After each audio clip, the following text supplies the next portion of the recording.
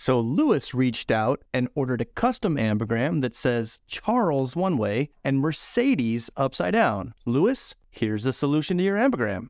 It starts with C to S, then H to E, A to D, R to CE, L to R, E to E, and then S to M. Okay, that looks great.